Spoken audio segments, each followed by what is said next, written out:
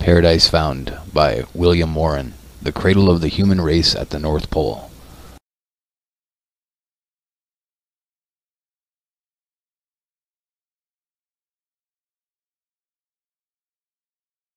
Diagram illustrating the true key to ancient cosmology and mythical geography. Compare page 479, the northern celestial pole in the zenith. AB, the axis of the heavens in perpendicular position, the axis of the earth in perpendicular position, the abode of the supreme god or gods, Europe, Asia, and the known portion of Africa, the earth surrounding the equatorial ocean river, and the abode of disembodied human souls, the abode of demons, the location of submerged Eden, the strength of the hill of Sion. This book is not the work of a dreamer. It is a thoroughly serious and sincere attempt to present what is, to the author's mind, the true and final solution of one of the greatest and most fascinating of all problems connected with the history of mankind. That this true solution has not been furnished before is not strange. The suggestion that primitive Eden was at the Arctic Pole seems at first sight the most incredible of all wild and wilful paradoxes, and it is only within the lifetime of our own generation that the progress of geological discovery has relieved the hypothesis of fatal antecedent improbability. Moreover, when one considers the enormous variety and breadth of the fields from which its evidences of truth must be derived, when one remembers how recent are those comparative sciences on whose results the argument must chiefly depend, when one observes that many of the most striking of our alleged proofs, both in the physical and in the anthropological domain, are precisely the latest of the conclusions of these most modern of all sciences, it is easy to see that a generation ago the demonstration here attempted could not have been given. Even five years ago, some of the most interesting and cogent of our arguments would as yet have been lacking.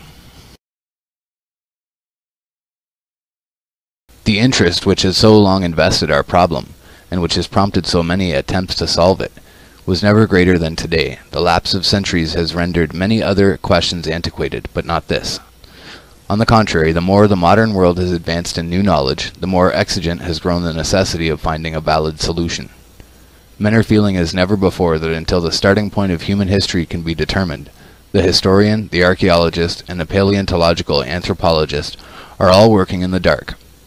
It is seen that without this desideratum, the ethnologist, the philologist, the mythographer, the theologian, the sociologist, can none of them construct anything not liable to profound modification, if not to utter overthrow, the moment any new light shall be thrown upon the mother region, and the prehistoric movement of the human race. Every anthropological science, therefore, and every science related to anthropology, seems at the present moment to be standing in a state of dubitant expectancy, willing to work little tentatively, but conscious of its destitution of the needful primal datum and conscious of its consequential lack of a valid structural law. To the believer in revelation, or even in the most ancient and venerable ethnic traditions, the volume here presented will be found to possess uncommon interest.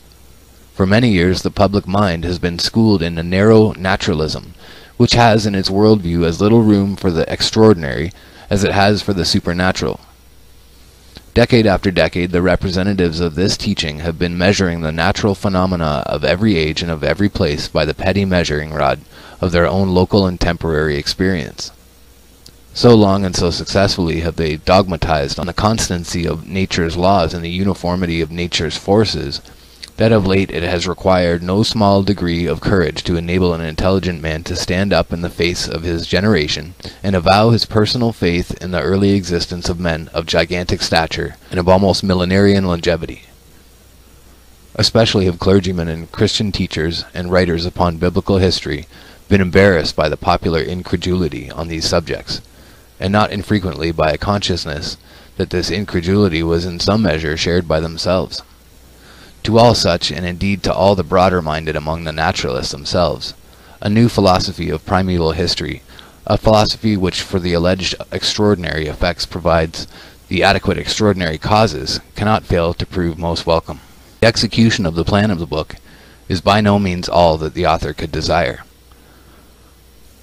To the elaboration of so vast an argument, the materials for which must be gleaned from every possible field of knowledge, the broadest and profoundest scholar might well devote the undistracted labor of a lifetime. To the writer loaded with the cares of a laborious executive office, there were lacking both the leisure and the equipment otherwise attainable for so high a task. The best he could do was to turn one or two summer vacations into work time and give the result to the world. Of the correctness of his position he has no doubt, and of the preparedness of the scientific world to accept it he is also confident. To the foregoing remarks it may be proper to add that apart from its immediate purpose, the book has interest, and it is hoped value, as a contribution to the infant science of comparative mythology. By the application of the author's true key to an ancient cosmology and mythical geography, it has been possible to adjust and interpret a great variety of ancient cosmological and geographical notions never before understood by modern scholars. For example, the origin and significance of the Chinvat Bridge are here for the first time explained. The indication of the polocentric character common to the mythical systems of sacred geography among all ancient peoples will probably be new to every reader. The new light thrown upon such questions as those relating to the direction of the sacred quarter, the location of the abode of the dead, the character and position of the cosmical tree, the course of the backward flowing ocean river, the correlation of the navels of earth and heaven, not to enumerate other points, can hardly fail to attract the lively attention of all students and teachers of ancient mythology and mythical geography. To teachers of Homer, the fresh contributions toward a right understanding of Homeric cosmology are sure to prove of value. And if in the end, the work may only lead to a systematic and intelligent teaching of the long neglected, but most important science of ancient cosmology and mythical geography in all reputable universities and classical schools, it will surely not have been written in vain. That the author has escaped all errors and oversights while ranging through so numerous and such diverse fields of investigation, many of which are but just open to the pioneering specialist, is too much to expect. He only asks that any such blemishes which a more competent scholarship may detect, or which the progress of new learning may yet bring to light, may not be allowed to prejudice the force of true arguments, but may be pointed out in the spirit of a candid and helpful criticism. In conclusion, the author respectfully commits his work for all truth-seeking spirits, not less to the patient investigators of nature than to the student of history, of literature, and of religion. Particularly would he commend it to all those yearning and waiting Königssonen, whose experience has been described by Hans Andersen in the words, Once upon a time there was a king, a son, nobody had so many and such beautiful books as he. In these all that had ever happened in the world he could read and see depicted in splendid engravings. Of every people and of every land could he get information. But as to where the Garden of Eden was, not a word was to be found therein. Just this it was, on which he meditated most of all. Paradise Found by William Warren. And we're just going to go through some of the illustrations first of all, so that we can see the parallels to flat earth. And it's, it's kind of important just to look at this first. So, the night skies of Eden.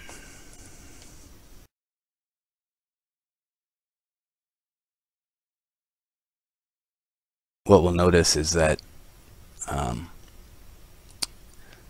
that he was incorrect about the rotundity of the earth. He believed that the earth is round. But everything else, all the other information that he adds up in this, is perfectly in tune with flat earth cosmology. And actually is it's it's amazing that he missed it. It's almost as though he put this together to throw people off of the flat earth. Because all the information in it.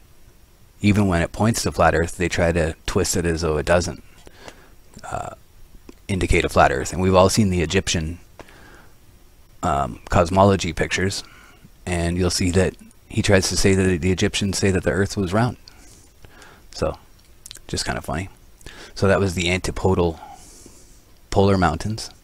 This is a great chapter. We're going to get to this shortly.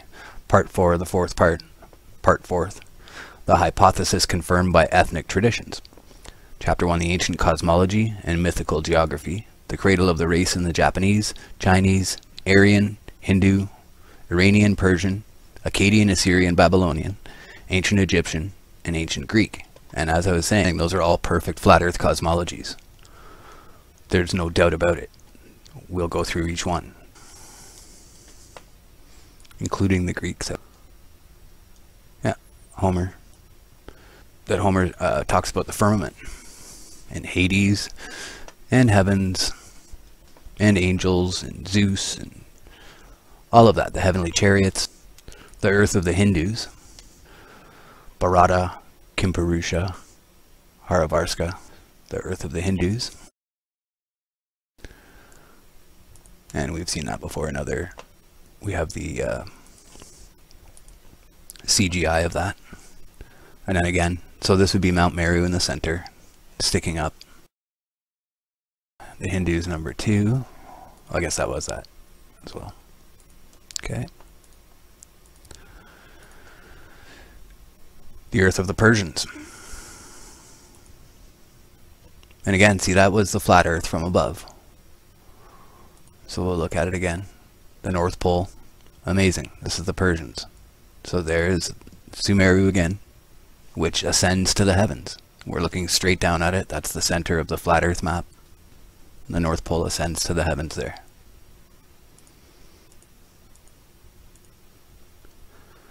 The navel of the earth.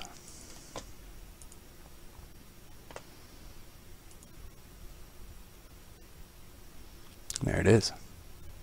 The North Pole. And they this one leaves out, of course, the detail that we have in our other maps there from Mercator.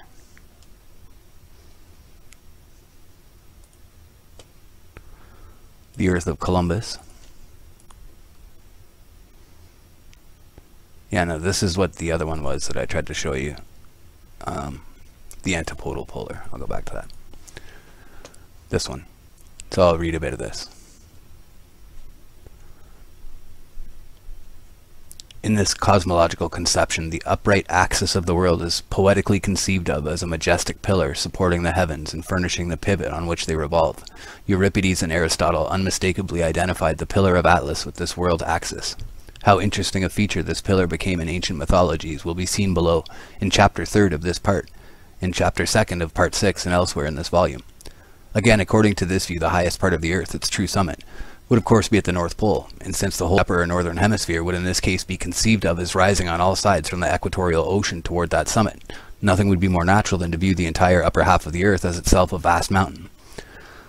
So they feel that there's a giant mountain on the top and a giant mountain on the bottom extremely easy for the imagination to carry the summit of so stupendous a mountain into and far above the clouds, and even to extend it to such a height that the gods of heaven might be conceived of have, as having their abode upon its top. This is precisely what came to pass, and hence in the cosmology of the ancient Egyptians, Akkadians, Assyrians, Babylonians, Persians, Indians, Chinese, and others we find under various names, but always easily recognizable, this mountain of the world, this Weltberg, situated at the north pole of the earth, supporting or otherwise connecting with the city of the gods, and serving as the axis around which sun, moon, and stars revolve.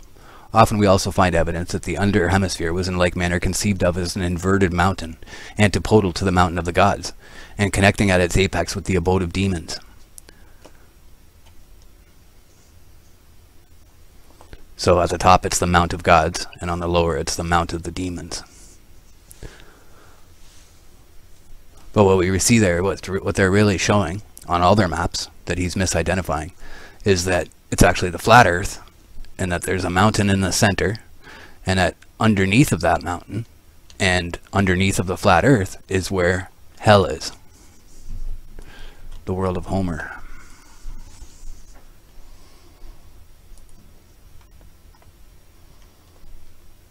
Mount Olympus Tartarus so he keeps showing it as a globe but I'll show you the flat earth, the real way that they actually interpreted it. That's actually better. And it's basically that there's the mountain on the top, and on the, the bottom it's an inversion of a mountain. It's not an upside down mountain. An inverted mountain is a set of stairs descending.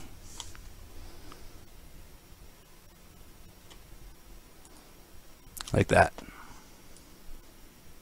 So the flat earth is here and at the North Pole here, or wherever you want to put it.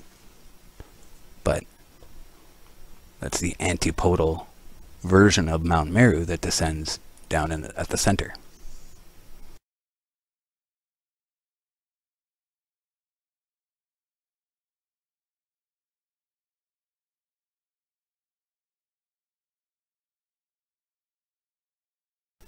Part 1st.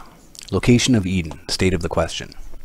Results of the explorers, historic and legendary. Results of the theologians. Results of non-theological scholars, naturalists, ethnologists, archaeologists. You shall understand that no mortal man may approach to that paradise, for by land no man may go, for wild beasts that are in the deserts, and for the high mountains and great huge rocks that no man may pass by, for the dark places are there. And by the rivers may no man go, for the water runs so roughly and so sharply, because it comes down so outrageously from the high places above, that it runs in so great waves that no ship may row or sail against it, and the water roars so, and make so huge a noise and so great a tempest that no man may hear another in the ship, though he cried with all the might he could. Many great lords have essayed with great will many times to pass by those rivers towards paradise, with full great companies, but they might not speed in their voyage, and many died for weariness of rowing against the strong waves and many of them became blind, and many deaf from the noise of the water, and some perished and were lost in the waves, so that no mortal man may approach to that place without the special grace of God. Sir John de Mandeville. Chapter 1 The Results of Explorers, Historic and Legendary. Men learnt die Welt am besten durch Reisen kennen. Uh, basically translates to Man learns best when he travels. K.H.W. Volker. One of the most interesting and pathetic passages to be found in all literature is that in which Christopher Columbus announces to his royal patrons his supposed discovery of the ascent to the gate of the long-lost Garden of Eden. With what emotions must his heart have thrilled as, steering up this ascent, he felt his ship smoothly rising toward the sky, the weather becoming milder as he rose. To be so near the paradise of God's own planting, to be the first discoverer of the way in which the believing world could at length, after so many ages, once more approach its sacred precincts, even if forbidden to enter. What an exquisite experience it must have been to the lonely spirit of that great explorer. It is his third voyage. He is in the Gulf of Paria, to the north or northwest of the mouth of the Orinoco. In his loyal epistle to Ferdinand and Isabella, thus he writes, The Holy Scriptures record that our Lord made the earthly paradise, and planted in it the tree of life, and thence springs a fountain, from which the four principal rivers of the world take their source, namely the Ganges in India, the Tigris and Euphrates, and the Nile.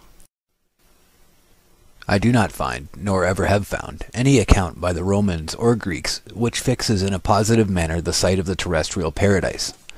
Neither have I seen it given in any map monde laid down from authentic sources. Some place it in Ethiopia at the sources of the Nile, but others, traversing all these countries, found neither the temperature nor the altitude of the sun correspond with their ideas respecting it. Nor did it appear that the overwhelming waters of the deluge had been there. Some pagans pretended to adduce arguments to establish that it was in the Fortunate Islands, now called the Canaries. St. Isidore, Bede, and Strabo, and the master of scholastic history, with St. Ambrose and Scotus, and all the learned theologians, agree that the earthly paradise is in the east, I have already described my ideas concerning this hemisphere and its form, and I have no doubt that if I could pass below the equinoctial line after reaching the highest point of which I have spoken, I should find a much milder temperature and a variation in the stars and in the water. Not that I suppose that elevated point to be navigable, nor even that there is water there. Indeed, I believe it is impossible to ascend thither, because I am convinced that it is the spot of the earthly paradise, whither no one can go but by God's permission. But this land which your highness have now sent me to explore is very extensive, and I think there are many other countries in the south, of which the world has never had any knowledge. I do not suppose that the earthly paradise is in the form of a rugged mountain, as the descriptions of it have made it appear, but that it is on the summit of the spot which I have described as being in the form of the stalk or stem end of a pear. The approach to it from a distance must be by a constant and gradual ascent, but I believe that, as I have already said, no one could ever reach the top. I think also that the water I have described may proceed from it, though it be far off, and that stopping at the place I have just left, it forms this lake.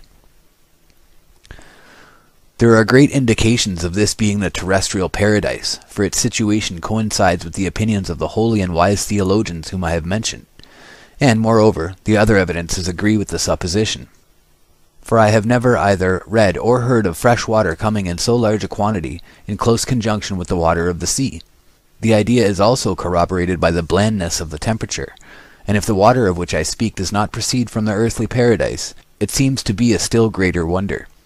For I do not believe that there is any river in the world so large and deep.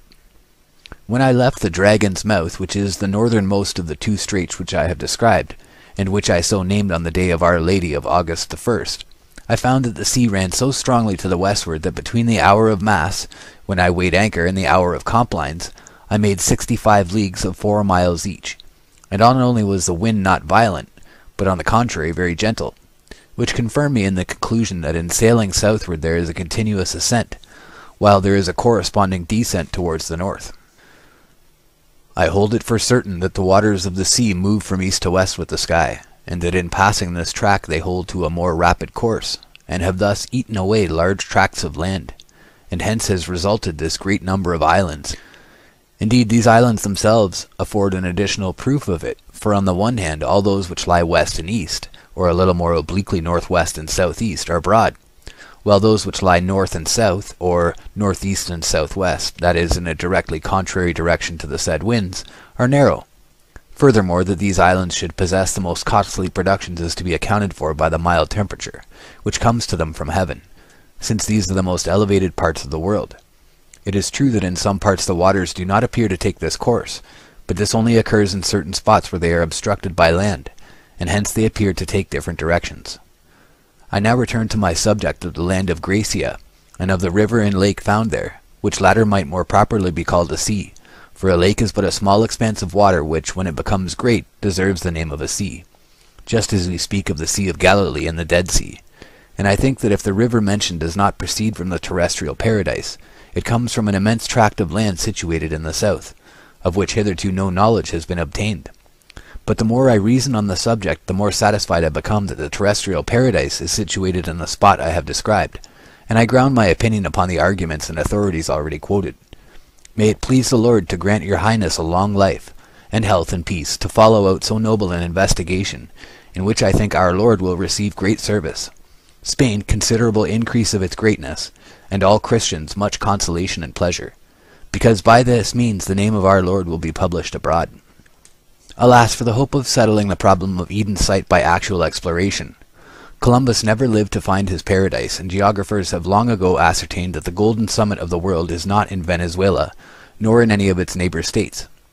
Of course, Columbus supposed himself to be off the eastern coast, not of a new continent, but of Asia. His idea of the location of the terrestrial paradise as in, or to the eastward of, farther India, was the prevailing idea of his age. The Hereford map of the world, dating from the 13th century, represents the favored spot as a circular island to the east of India and as separated from the mainland not only by the sea but also by a battlemented wall, with its one gate to the west through which our first parents were supposed to have been expelled. Hugo de St. Victor wrote, Paradise is a spot in the Orient productive of all kinds of wood and palmiferous trees. It contains the tree of life. There is neither cold nor heat there, but perpetually an equable temperature. It contains a fountain which flows forth in four rivers. So Gautier de Metz, in a poem written in the thirteenth century, describes the terrestrial paradise as situated in an unapproachable region in Asia, surrounded by flames, and guarded at its only gate by an armed angel. In the year 1322, Sir John de Mandeville made his memorable pilgrimage to the east. In his account of these travels, after describing the marvelous kingdom of Prester John in India, he says, And beyond the land and isles and deserts of Prester John's lordship, and going straight towards the east, men find nothing but mountains and great rocks, and there is the dark region where no man may see, neither by day nor by night, as they of the country say. And that desert and that place of darkness lasts from this coast unto terrestrial paradise, where Adam our first father and Eve were put, who dwelt there but a little while, and that is towards the east, at the beginning of the earth. Of paradise I cannot speak properly, for I was not there. It is far beyond, and I repent not going there, but I was not worthy. But as I have heard say of wise men beyond, I shall tell you with good will, terrestrial paradise, as wise men say, is the highest place of the earth, and it is so high that it nearly touches the circle of the moon there, as the moon makes her turn. For it is so high that the flood of Noah might not come to it, that would have covered all the earth of the world all about and above and beneath except paradise. And this paradise is enclosed all about with a wall, and men know not whereof it is, for the wall is covered all over with moss as it seems. And it seems not that the wall is natural stone, and that wall stretches from the south to the north, and it has but one entry which is closed with burning fire, so that no man that is mortal dare enter. And in the highest place of paradise, exactly in the middle, is a well that casts out four streams, which run by diverse lands, of which the first is called Pison or Ganges, that runs through India or Emlak, in which river are many precious stones and much lignum, aloes, and much sand of gold. And the other river is called Nile or Gison, which goes through Ethiopia, and after through Egypt. And the other is called Tigris, which runs by Assyria and by Armenia the Great. And the other is called Euphrates, which runs through Media, Armenia, and Persia. And men there beyond say that all the sweet waters of the world, above and beneath, take their beginning from the well of paradise, and out of that well all waters come and go. Various writers and mapmakers of the same age seem very evidently to have identified the paradise of Genesis with the island of Ceylon. Even to this day, a mount near the center of the island bears the name of Adam's Peak. According to a Mohammedan tradition, this was only so called because it was the place where Adam alighted when cast out of the true celestial paradise in heaven. Nevertheless, Christian tradition or legend long lingered about Ceylon as the genuine site of primitive Eden. In entire accord with this view is the remarkable story of Prince Eirik, as told in an Icelandic saga of the 14th century. Mr. Baring Gould, in a style not very reverent, has summarized the tale as follows. Eirik was a son of Thrand, king of Drontheim, and having taken upon him a vow to explore the deathless land, he went to Denmark, where he picked up a friend of the same name as himself.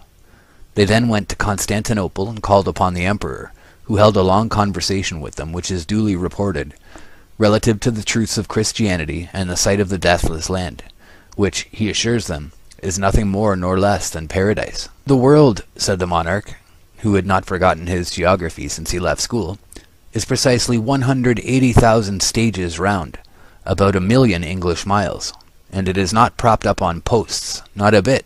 It is supported by the power of God, and the distance between earth and heaven is 100,045 miles.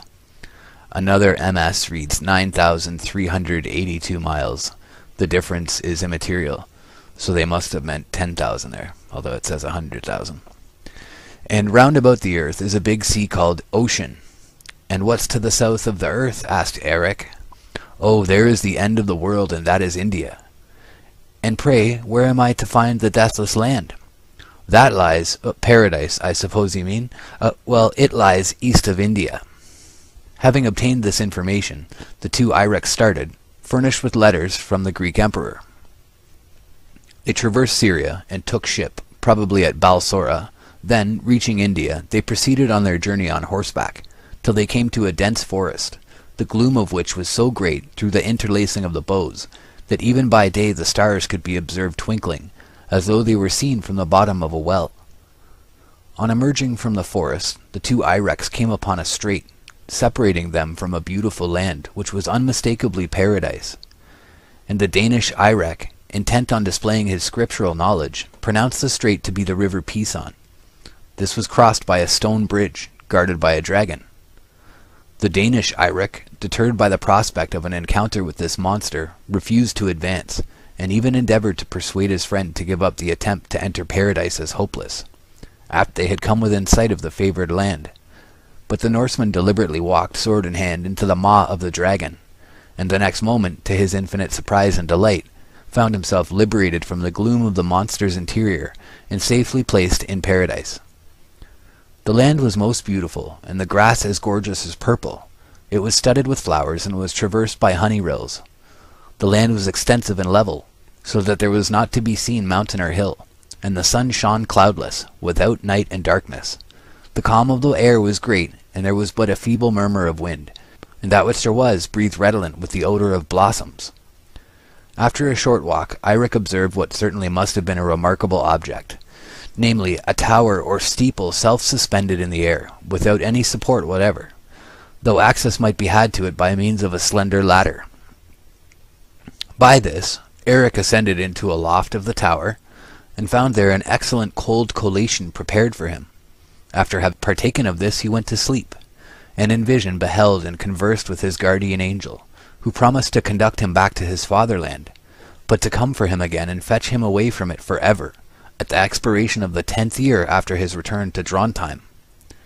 Eirik then retraced his steps to India, unmolested by the dragon, which did not affect any surprise at having to disgorge him, and indeed which seems to have been, notwithstanding his looks, but a harmless and passive dragon. After a tedious journey of seven years, Eirik reached his native land, where he related his adventures to the confusion of the heathen, and to the delight and edification of the faithful. And in the tenth year, and at break of day, as Eirik went to prayer, God's Spirit caught him away, and he was never seen again in this world. So here ends all we have to say of him.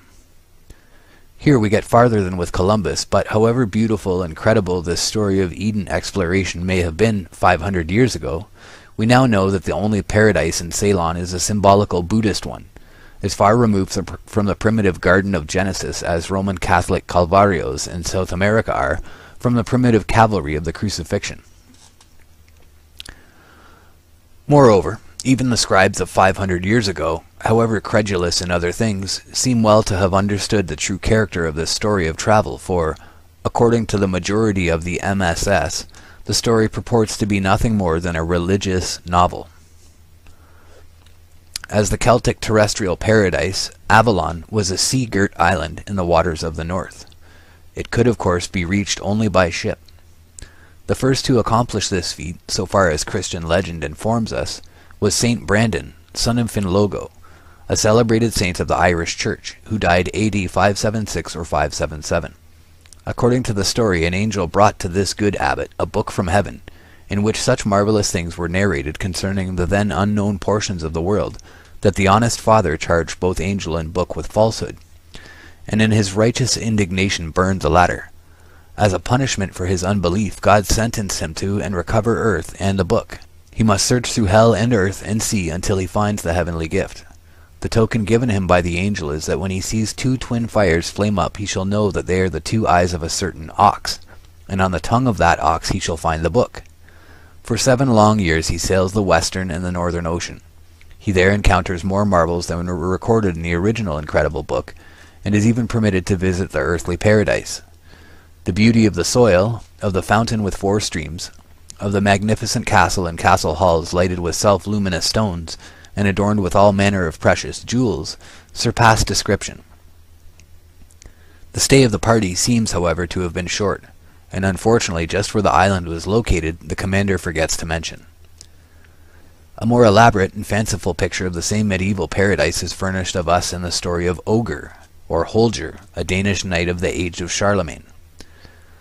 In a plain prose rendering, this is the style in which a famous court minstrel of 600 years ago was accustomed to chant the adventure to admiring audiences. So I'm just going to cut in here just to to reference how they're talking about that it just seems to be a religious these seem to come from religious books. Well, the common theme there is that every time they look at the religious novels, they come back to those four rivers and they say that that's the center of the earth and that they say that that's where we descended from heaven.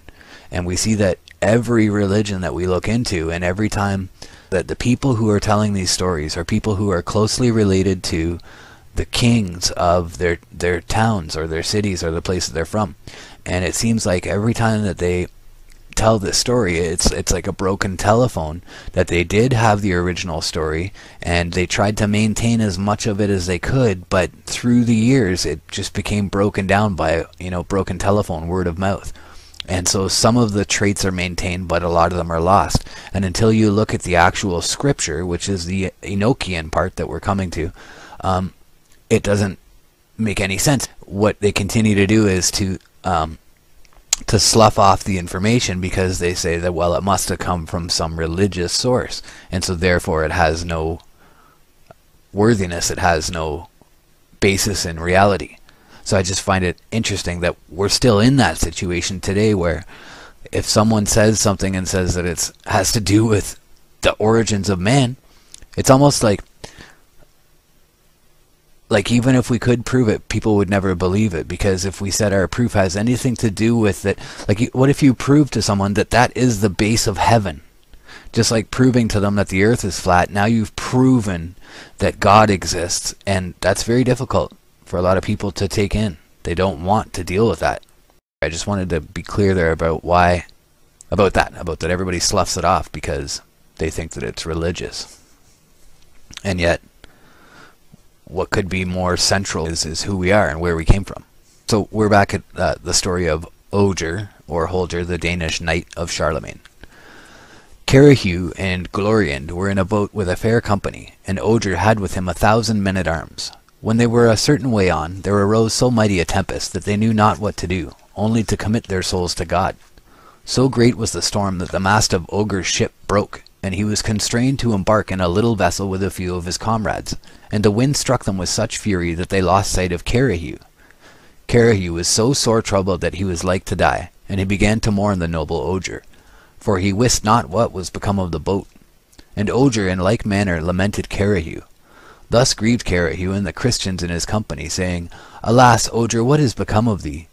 This is, I ween, the most sudden departure that I heard of ever. Nay, but cease, my beloved, said Gloriand. He will not fail to come again when God wills, for he cannot be far away. Ah, lady, said Carahue, you know not the dangers of the sea, and I pray God to take him into his keeping. Now I will leave speaking of Carahue and return to Ogier, who was in peril, yet was ever grieving for his friend, and saying, Ah, Carahue, hope of the remaining days of my life, thou whom I love next to God, how has God allowed me to lose so soon you and your lady? At that moment the great ship in which Ogier had left his men-at-arms struck against a rock, and he saw them all perish, at which sight he was like to die of grief. And presently a lodestone rock began to draw towards it the boat in which Ogier was. Ogier, seeing himself thus taken, recommended his soul to God, saying, My God, my Father, and Creator, who hast made me in thine image and semblance, have pity on me now, and leave me not here to die, for that I have used my power as was best to the increase of the Catholic faith. But if it must be that thou take me, I commit to thy care my brother Gaiu, and all my relatives and friends, especially my nephew Gautier, who is minded to serve thee, and bring the paynim into thy holy church. Ah, my God, had I known the peril of this adventure, I should never have abandoned the beauty, sense, and honour of Clarice, Queen of England. Had I but gone back to her, I should have seen, too, my redoubted sovereign, Charlemagne, with all the princes who surround him. Meanwhile the boat continued to float upon the water, till it reached the lodestone castle, which they call the Chateau d'Avalon, which is but a little way from the earthly paradise. Whither were snatched in a beam of fire Elias and Enoch, and where was Morgue la Fay, who at his birth had given him such great gifts. Then the mariners saw well that they were drawing near to the lodestone rock, and they said to Ogier, My lord, commend thyself to God, for it is certain that at this moment we are come to our voyage's end. And as they spake, the bark with a swing attached itself to the rock, as though it were cemented there. That night Ogier thought over the case in which he was, but he scarce could tell of what sort it might be. And the sailors came and said to Ogier, My lord, we are held here without remedy. Wherefore let us look to our stores, for we are here for the remainder of our lives. To which Ogier made answer, If this be so, then will I make consideration of our case, for I would assign to each one his share, to the least as to the greatest. For himself, Ogier kept a double portion, for it is the law of the sea that the master of the ship has as much as two others. But if that rule had not been, he would still have needed a double quantity, for he ate as much as two common men. When Ogier had apportioned his share to each, he said, Masters, be sparing, I pray you, of your food as much as you may. For so soon as you have no more, be sure that I myself will throw you into the sea. The skipper answered him, My lord, thou wilt escape no better than we. Their food failed them all, one after another, and Ogier cast them into the sea, and he remained alone. Then he was so troubled that he knew not what to do. Alas, my God, my Creator, said he, hast thou at this hour forsaken me? I have now no one to comfort me in my misfortune. Thereupon, whether it were his fantasy or no, it seemed to him that a voice replied, God orders that so soon as it be night thou go to a castle after thou hast come to an island, which thou wilt presently find. And when thou art on the island thou wilt find a small path leading to the castle, and whatsoever thing thou seest there, let that not affray thee. And Ogier looked, but wist not who had spoken. Ogier waited the return of night, to learn the truth of that which the voice foretold, and he was so amazed that he wist not what to do, but set himself to the trial. And when night came he committed himself to God, praying him for mercy, and straightway he looked and beheld the castle of Avalon, which shone wondrously. Many nights before he had seen it, but by day it was not visible. Howbeit, so soon as Ogier saw the castle, he set about to get there. He saw before him the ships that were fastened to the lodestone rock, and now he walked from ship to ship, and so gained the island. And when there, he at once set himself to scale the hill by a path which he found. When he reached the gate of the castle and sought to enter, there came before him two great lions, who stopped him and cast him to the ground. But Ogier sprang up and drew his sword, Curtain, and straightway cleft one of them in twain. Then the other sprang and seized Ogier by the neck, and Ogier turned round and struck off his head. When Ogier had performed this deed, he gave thanks to our Lord, and then he entered the hall of the castle, where he found many viands, and a table set as if one should dine there. But no prince nor lord could he see. Now he was so amazed to find no one, save only a horse, which sat at the table as if it had been a human being. This horse, which was called Papillon, or Psyche, waited upon Ogier, gave him to drink from a golden goblet, and at length conducted him to his chamber, and to a bed whose fairy-made coverlet of cloth of gold and ermine was la plus mignonne chose qu'il fait jamais vue, or the nicest he had ever seen. When Ogier awoke he thought to see Papillon again, but could see neither him nor man nor woman to show him the way from the room. He saw a door, and having made the sign of the cross, sought to pass out that way. But as he tried to do this he encountered a serpent, so hideous that the like has scarce been seen. It would have thrown itself upon Ogier, but that the knight drew his sword and made the creature recoil more than ten feet. But it returned with a bound, for it was very mighty, and the twain fell to fight. And now as Ogier saw that the serpent pressed hard upon him, he struck at it so doughtily with his sword that he severed it in twain. After that, Ogier went along a path which led him to a garden, so beauteous that it was in truth a little paradise. And within were fair trees, bearing fruit of every kind, of tastes diverse, and of such sweet odours that he never smelt trees like them before. Ogier, seeing these fruits so fine, desired to eat some, and presently he lighted upon a fine apple tree, whose fruit was like gold, and of these apples he took one and ate. But no sooner had he thus eaten than he became so sick and weak that he had no power nor manhood left. And now again he commended his soul to God and prepared to die. But at this moment, turning round, he was aware of a fair dame, clothed in white, and so richly adorned that she was a glory to behold. Now as Ogier looked upon the lady without moving from his place, he deemed that she was Mary the Virgin, and said, Ave Maria, and saluted her. But she said, Ogier, think not that I am she whom you fancy. I am she who was at your birth, and my name is Morgue la Fay, and I allotted you a gift which was destined to increase your fame eternally through all lands. But now you have left your deeds of war to take with ladies your solace. For as soon as I have taken you from here, I will bring you to Avalon, where you will see the fairest noblesse in the world. And anon she gave him a ring, which had such virtue that Ogier, who was near a hundred years old, returned to the age of thirty. Then said Ogier, Lady, I am more beholden to you than to any other in the world. Blessed be the hour of thy birth, for, without having done aught to deserve at your hands, you have given me countless gifts, and this gift of new life above them all. Ah, lady, that I were before Charlemagne, that he might see the condition in which I now stand, for I feel in me greater strength than I have ever known. Dearest, how can I make return for the honour and great good you have done me? But I swear that I am at your service all the days of my life.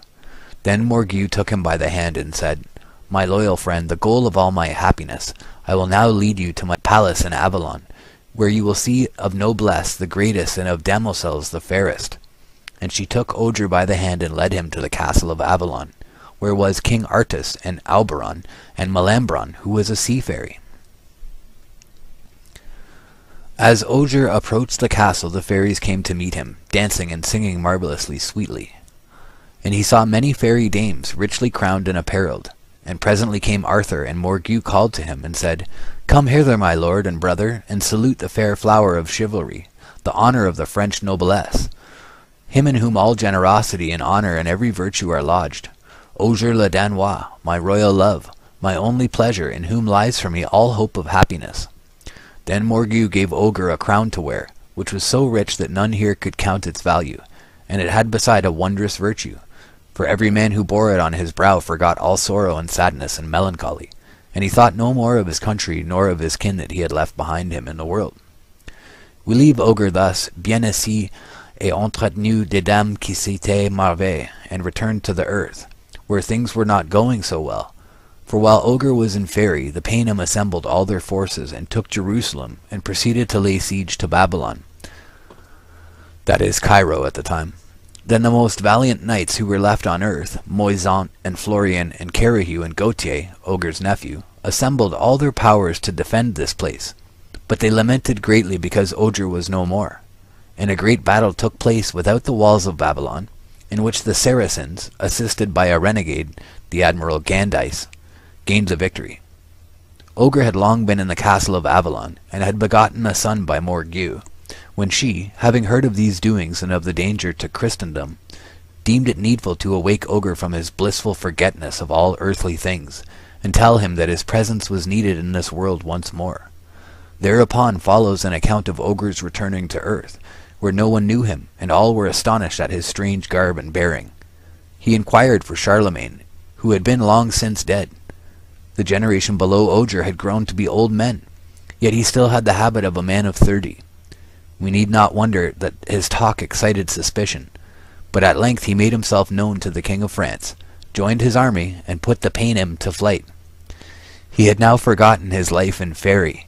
He was beloved by the Queen of France, the king having been killed, and was about to marry her, when Morgiu again appeared and carried him off to Avalon.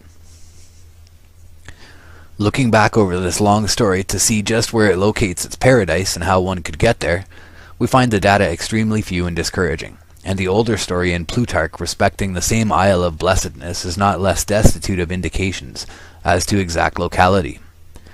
Going some centuries farther back, we find another traveler who claims to have been in terrestrial paradise. He says, as I looked towards the north, over the mountains, I saw seven mountains full of precious balsam and odorous trees, and cinnamon and pepper. And from thence I went over the summits of these mountains far towards the east, and passed on still farther, over the sea, and came far beyond it. And I came into the garden of righteousness, and saw a many-colored crowd of trees of every kind. For many and great trees flourish there, very noble and lovely, and the tree of wisdom, which gives wisdom to anyone who eats of it. It is like the Johannes bread tree. Its fruit is like a cluster of grapes, very good, and the fragrance of the tree spreads far around. And I said, Fair is this tree, and how beautiful and ravishing its look. And the holy angel Raphael, who was with me, answered and said to me, This is the tree of wisdom of which thy forefathers, thy hoary first parent and thy aged first mother ate, and found the knowledge of wisdom, and their eyes were opened, and they knew that they were naked and were driven out of the garden. This favored explorer, who had the special advantage of being guided by a holy angel, was the unknown author of the Book of Enoch, which writing is believed by some to be as old as the second century before Christ. No one can read many chapters of his production, however, without arriving at the firm conclusion that sacred geography has little to hope from such a source, however ancient. Coming down to the travelers of our own time, we fare no better even though they do not tax our credulity with stories of angelic guides or of guardian dragons.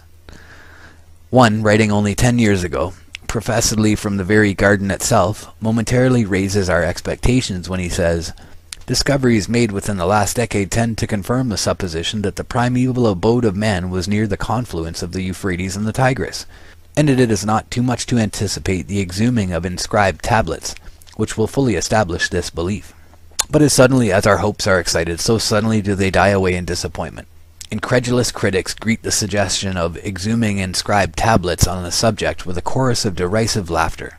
The author himself does not venture to give any of the discoveries made within the last decade which tend to confirm the notion that Eden was located at the point described. On the contrary, in the immediately following sentence, he takes leave of the subject, and so doing gives us over to his own admitted uncertainty in the following terms and although, after the lapse of so many centuries, exact correspondence of topography is not to be expected, yet guided by the general features of the scene rather than by the minuter ones, the present traditional Garden of Eden may be accepted until another has been discovered, and its identity more clearly proved. In such darkness dies out the kindled hope. Meantime, in a letter to Sir Roderick Murchison, published in the Athenaeum, not far from the same date, the indefatigable Livingstone disclosed the secret of his tireless perambulations through Central Africa. He believed that at the sources of the Nile, could he once discover them, he would stand upon the site of the primeval paradise. Evidently, exploration, wonderful as have been its achievements, has not yet solved the problem of the site of Eden. To this day, the word of Pindar, uttered half a thousand years before Christ, has remained true. Quote, neither by taking ship, neither by any travel on foot, to the Hyperborean field, shalt thou find the wondrous way. Chapter 2 The Results of Theologians. Some have placed it in the third heaven, some in the fourth, and in the heaven of the moon, in the moon itself, on a mountain near the lunar heaven, in the middle region of the air, out of the earth, upon the earth, beneath the earth, in a place that is hidden and separated from man.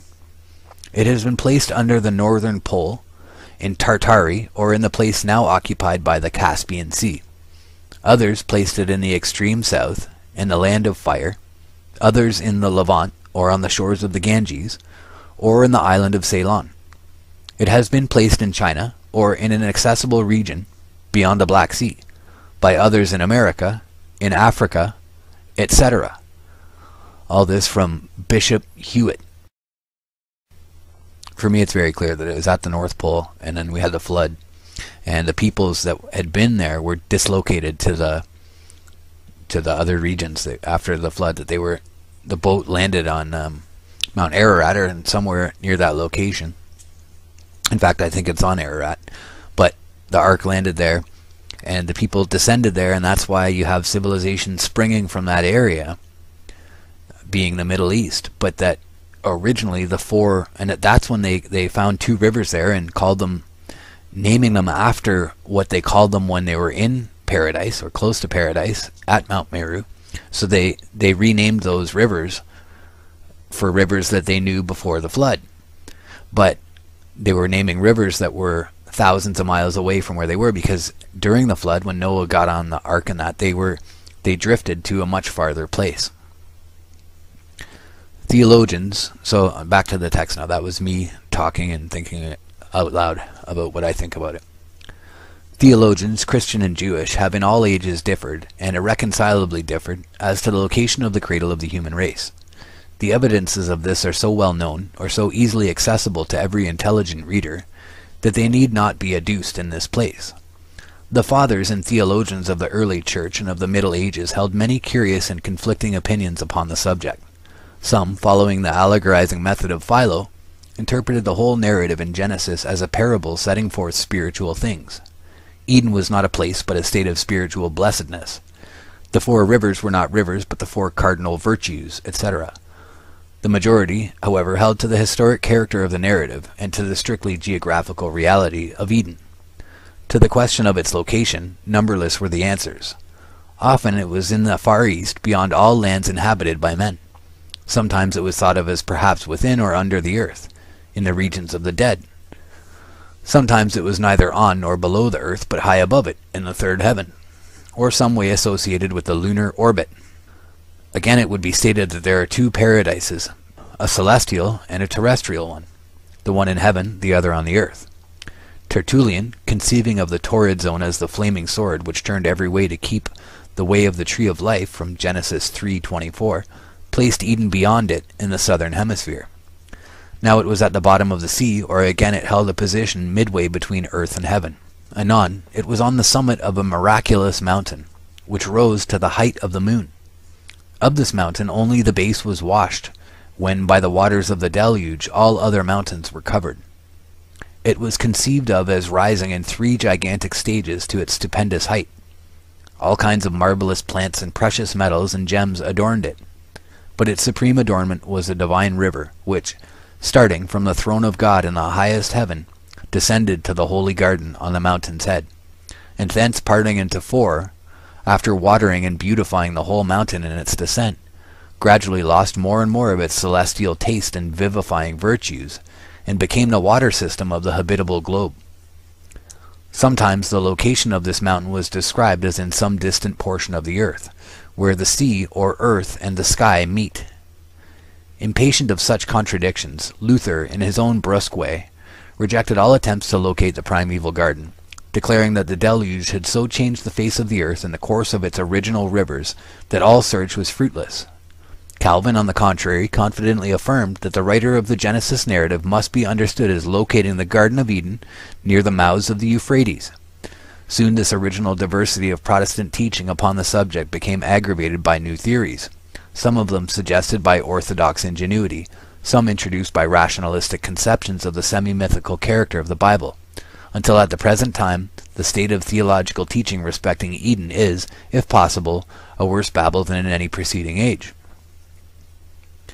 For a partial illustration of the confusion, one has only to turn to the most recent and authoritative biblical, theological, and religious encyclopedias. In McClintock and Strong's The Writer on Eden inclines to locate it in Armenia. In Smith's Bible Dictionary, the problem is abandoned as probably insoluble. In the great German encyclopedia, Herzog, it is declared necessary to deny to the story of Eden a strictly historical character. It is a bit of mythical geography. In the supplement, however, Pressel makes an elaborate argument of many pages in favor of the location at the junction of the Tigris and Euphrates. Dillmann, in Schenkel's Bible Lexicon, places it in the Himalayas north of India. In the chief Roman Catholic cyclopedia, Wetzer, and Welte's Kirchenlexikon, the writer vacillates between Eastern Asia, taken in a vague and undefined sense, and an equally undefined north. In Lichtenberger's just completed Encyclopedia of Religious Sciences, the whole story in Genesis 2 is declared as a philosophic myth. Professor Brown of New York, in the new work edited by Dr. Schaff, on the basis of Herzog, enumerates a variety of opinions advocated by others, but refrains from expressing any opinion of his own. Such is all the light which contemporary theology seems able to throw upon our problem. But here some plain reader of the Bible opens at the second chapter of Genesis and reads, and the Lord God planted a garden eastward in Eden, and there he put the man whom he had formed.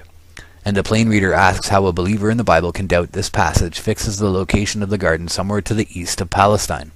But looking a little more critically, our inquirer himself quickly sees that the verse does not necessarily affirm anything as to the direction of the garden from the writer.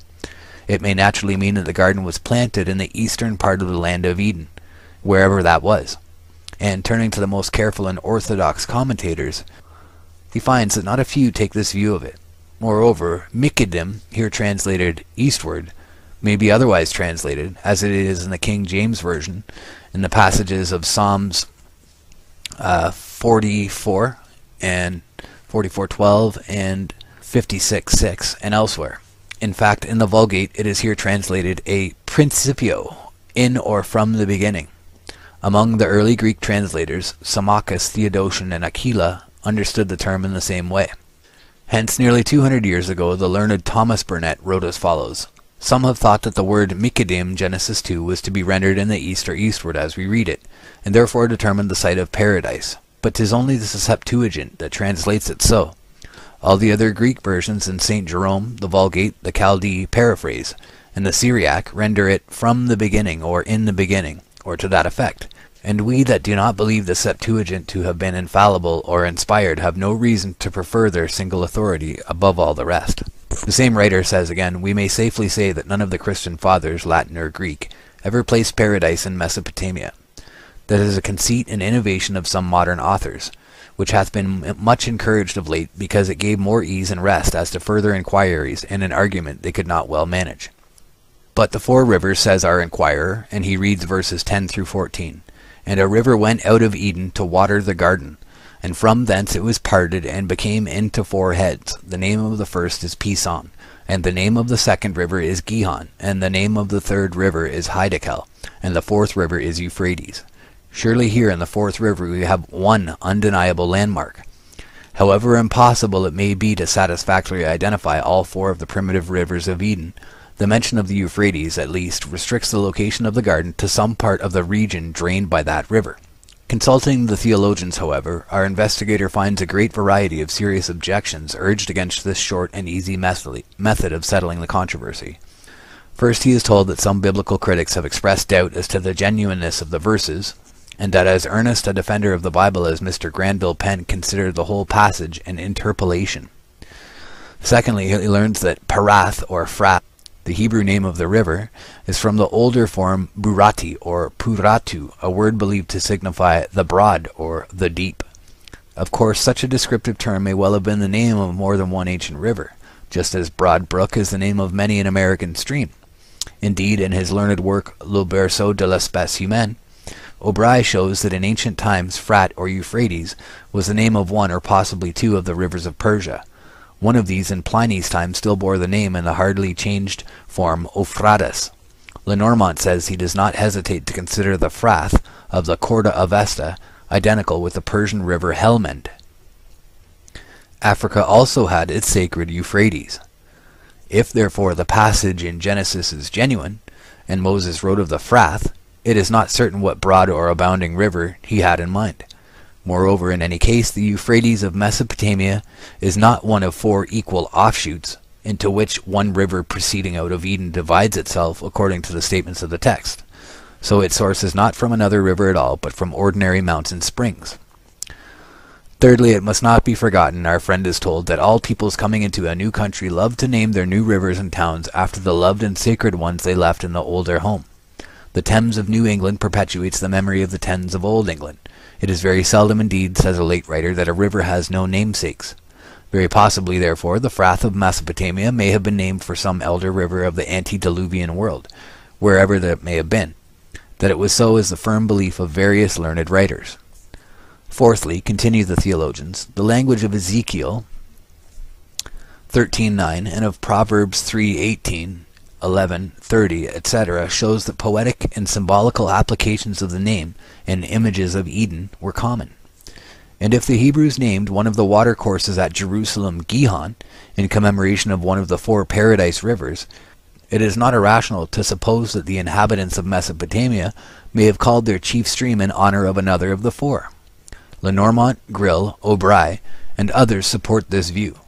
They might have rendered the probability still stronger by calling attention to the fact that the oldest name of Babylon, Tin Tir Ki, was of the same commemorative or symbolical character, and signified the place of the tree of life.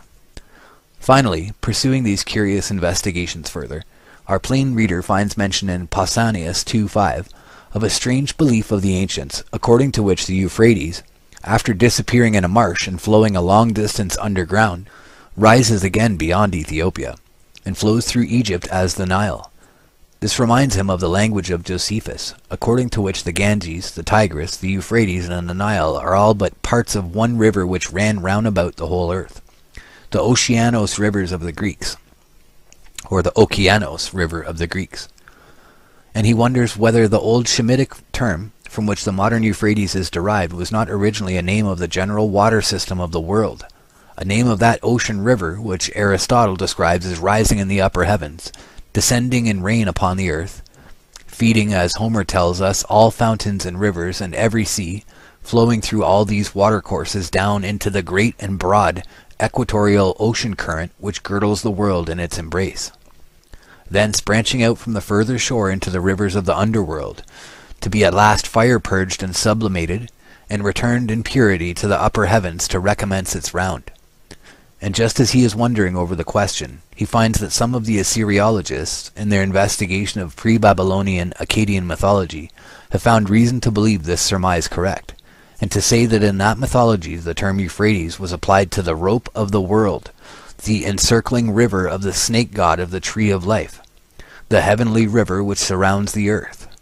Furthermore, as he turns back to the pages of Hyginus and, and Manilius and Lucius Ampelius, and reads of the fall of the world egg at the beginning into the river Euphrates, he perceives that he is in a mythologic and not a historic region. And when he lights upon a mutilated fragment of an ancient Assyrian inscription, in which descriptions of the visible and invisible world are mixed up together, and in which the river of the life of the world is designated by the name Euphrates, he quickly concludes that it will not do to take the term Frath or Euphrata as always and everywhere referring to the historic river of Mesopotamia. Hitherto, then, the results of the theologians as to the location of Eden are purely negative and mutually destructive. It would be difficult, says one of their number, to find any subject in the whole history of opinion which has so invited and at the same time so completely baffled conjecture as this. Theory after theory has been advanced, but none has been found which satisfies the required conditions. The site of Eden will ever rank, with the quadrature of the circle and the interpretation of unfulfilled prophecy, among those unsolved and perhaps insoluble problems which possess so strange a fascination. Chapter 3 The Results of Non Theological Scholars, Naturalists, Ethnologists, etc. A quote from Charles Darwin It is useless to speculate on this subject. Charles Darwin. And we know how useful a quote from Charles Darwin has turned out to be. The location of the cradle of the human race is as much a problem for the ethnologist and anthropologist as it is for the theologian. The archaeologist, the zoologist, and even the biologist, if at all broad and philosophical in their inquiries, cannot ignore the high interest of the questions. Was there for the human race one primitive center of distribution? And if so, where was it located? Thirty years ago, the pretentious American work by Nott and Gliddon, entitled The Types of Mankind, a work written in opposition to the doctrine of the unity of the human race, attracted unusual attention to the former of these questions. The teaching therein put forth was that there are very many types of varieties of men without genealogical connection with each other, and that therefore a great number of primitive centers of distribution must be assumed. The avowed prejudices of the projectors of the work against certain races, particularly the African, would have rendered the influence of the work upon the scientific world extremely slight, had not contributions of some value from Dr. S. G. Morton and Professor Louis Agassiz been incorporated with it. As it was, it gave European ethnologists occasion to form and express very uncomplimentary conceptions of, of American representatives of ethnological research.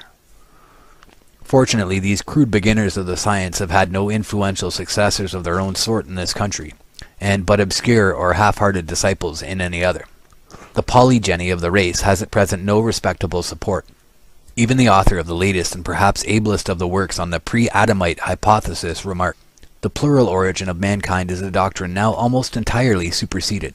All schools admit the probable descent of all races from a common stock. To the second question, therefore, the attention of the scientific and archaeological world is steadily gravitating. Given one primeval point of departure for the race, where shall that point of departure be sought? The answers which recent biologists, naturalists, and ethnologists have given to this problem are hardly less numerous or less conflicting than are the solutions proposed by theologians. Of these answers, Professor Zöckler, in a late work, enumerates ten, each having the support of eminent scientific names. In latitude they range from Greenland to Central Africa, and in longitude from America to Central Asia. Of the whole number, the two which seem to command the widest and weightiest support are, first, the hypothesis that Lemuria, a wholly imaginary, now submerged prehistoric continent under the northern portion of the Indian Ocean, was the mother region of the race, and secondly, that it was in the heart of Central Asia. The former of these sites is the one supported by Haeckel, Caspari, Peschel, and many others. Though less positive, Darwin and Lyell seem favorable to the same location or to one in the adjoining portion of Africa. Most of the recent maps of the progressive dispersion of the race over the globe have been constructed in accordance with this theory. Perhaps the best popular summary of the arguments in its favor is that found in Oscar Peschel's Races of Men. But while biological speculation, especially in the hands of Darwinists, is strongly inclined toward the chief habitat of the ape tribes in its attempts to find man's primitive point of departure, comparative philologists, mythologists, and archaeological ethnographers have of late very strongly tended to place the cradle of mankind on the lofty plateau of Pamir in Central Asia. For these the eminent French anthropologist, Quatrefages, is well entitled to speak. We know, says this savant, that in Asia there is a vast region bounded on the south and southwest by the Himalayas, on the west by the Bolor Mountains, on the northwest by the Ala Tau, and on the north by the Altai Range and its offshoots, on the east by the King Khan, on the south and southeast by the Felina and Kuen Judging of it by what exists at the present day, this great central region might be regarded as having included the cradle of the human race. In fact, the three fundamental types of all the races of mankind are represented in the populations grouped around this region. The Negro races are the furthest removed from it, but have nevertheless marine stations, in which they are found pure or mixed, from the Kyushu to the Andaman Islands. On the continent, they have mingled their blood with nearly all the inferior castes and classes of the two Gangetic peninsulas. They are still found pure in each of them. They ascend as far as Nepal and, according to Elphinstone, spread to the west as far as the Persian Gulf and Lake Zare. The yellow race, pure or mixed here and there with white elements, seems alone to occupy the area in question. The circumference of this region is peopled by it to the north, the east, the southeast, and the west. In the south it is more mixed, but, but it none the less forms an important element of the population. By its allophilian representative seems to have disputed the possession of even the central area itself with the yellow race. In early times, we find the Yu Qi, the U sons, to the north of Huang Ho, and at the present day in Little Tibet, in eastern Tibet, small islands of white populations have been pointed out. The Miaotze occupy the mountainous regions of China. The Sayaputes are proof against all attacks in the gorges of Bolor. On the confines of this area we find to the east the Ainos and the Japanese of high caste, the Tinguyans of the Philippine Islands, to the south the Hindus. To the southwest and west the white element, pure or mixed, is completely predominant. No other region on the face of the globe, ah, no other region presents similar reunion of the extreme types of the human race distributed around a common center. This fact of itself might suggest to the naturalist the conjecture which I have expressed above, but we may appeal to other considerations. One of the weightiest of these is drawn from philology. The three fundamental forms of human language are found in the same region and in analogous connections. In the center and the southeast of our area, the monosyllabic languages are represented by the Chinese, the Annamite, the Siamese, and the Tibetan. As agglutinative languages, we find from the northeast to the northwest the group of the Ugro-Japanese, in the south that of the Dravidians and the Malays, and in the west the Turkish languages. Lastly, Sanskrit with its derivatives and the Iranian languages represent, in the south and southwest, the inflectional languages. With the linguistic types accumulated around the central region of Asia, all human languages are connected, either by their vocabulary or their grammar. Some of these Asiatic languages resemble very closely languages spoken in regions far removed, or separated from the area in question by very different languages. Lastly, it is from Asia again that our earliest tame domestic animals have come. Isidore Geoffroy St. Hilaire is entirely agreed on this point with Dureau de la Malle. Thus, taking into account only the present epoch, everything leads us back to this central plateau, or rather this vast enclosure. Here we are inclined to say to ourselves, the first human beings appeared, and multiplied down to the moment when the populations overflowed like a bowl which is too full, and poured themselves out in human waves in all directions. This view of the location of the first center of the race is very widely accepted. It has the support of many great names. To its establishment, contributions have been made by scholars in a great variety of fields. Among them may be mentioned Layson, Burnouf, Ewald, Renan, Obry, de Eckstein, Hofer, Senart, Maspero, Lenormant, etc. Perhaps the most important single treatise representing the view is Obry's Cradle of the Human Species, a work of singular interest to every scholar. But the latest writers on the question are by no means confined to the two locations just mentioned. The difficulty of accounting for the first advent of human beings in America, without supposing in early times a closer land connection between the eastern and western hemispheres and the intertropical regions that now exists, has led not a few ethnologists to postulate a lost Atlantis, including perhaps the Canary and Madeira Islands or the Azores, or located to the north or south of them, and to place it in the fountainhead of the streams of population which colonized both the Old and the New World.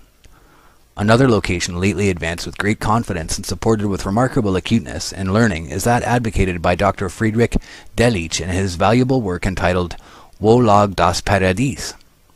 This site is on the Euphrates between Baghdad and Babylon, and the author's construction the four rivers are the great canal west of the Euphrates, called by the Greeks the Palakopas the Shat and Nil, and the lower Tigris and Euphrates. But despite the conceded ability of the plea, there seems at present little prospect that it will secure acceptance among scholars. The distinguished Theodore Nöldeke, in a recent review, while cordially praising the learning and ingenuity of the work, professes himself unmoved by its arguments.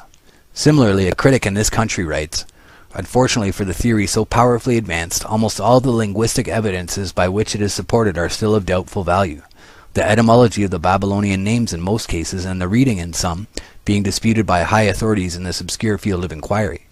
Were the linguistic points proved, it would be hard to resist the power of the argument, in spite of various difficulties arising from the scanty text of Genesis itself.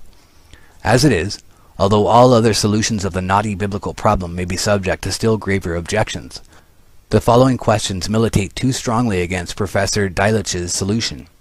Why, if the stream of Eden be the middle Euphrates, is it left unnamed in the narrative, though it is certain that the Hebrews were perfectly familiar both with the middle and the upper course of that river. Why, if the Pison and Gihon designate the canals Palakopas and Shat Anil, are they said to compass the lands which the canals only traverse? If the lower Tigris be meant by the Hiddekel, Why is this river described as flowing in front of Assyria, which lay above the central Mesopotamian lowland asserted to be Eden?